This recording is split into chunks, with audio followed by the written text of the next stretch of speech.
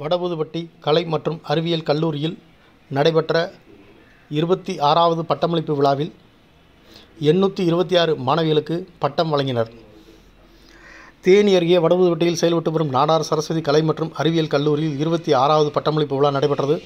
இந்த பட்டமளிப்பு விழா நிகழ்ச்சிக்கு உறவின் முறை தலைவர் ராஜமோகன் தலைமை வைத்தார் உபதலைவர் கணேஷ் பொதுச் செயலாளர் ஆனந்தவேல் பொருளாளர் பழனியப்பன் உள்ளிட்டோர் முன்னிலை வகிக்க கல்லூரி முதல்வர் சித்ரா அனைவரையும் வரவேற்று பேசினார்.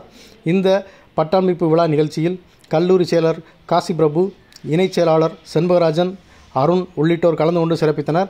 விழாவில் அன்னை தெரசா மகளிர் கல்லூரி துணைவேந்தர் கலா சிறப்பு விருந்தினராக கலந்து கொண்டு மாணவிகளுக்கு பட்டம் வழங்கி சிறப்புரையாற்றினார். அப்போது அவர் பேசுகையில் பட்டம் பெறும் மாணவிகளின் பெற்றோர்களுக்கு உங்கள் குழந்தைகளின் வெற்றியில் உங்கள் தியாகம் முக்கிய பங்கு வகிக்கிறது என்றும் பட்டம் பெறுவது வேலை வாய்ப்புக்காக மட்டுமல்ல தமது அறிவாற்றலை மேம்படுத்திக் கொள்ளவும் கிடைக்கின்ற வாய்ப்புகளை வசப்படுத்தி வாழ்வில் முன்னேற்றம் ஒழுக்கம் மற்றும் திறமையுடையவர்களாக விளங்க வேண்டும் என்றும் பேசியதோடு பட்டம் பெற்றவர்களுக்கு வாழ்த்துக்கள் தெரிவித்தார்.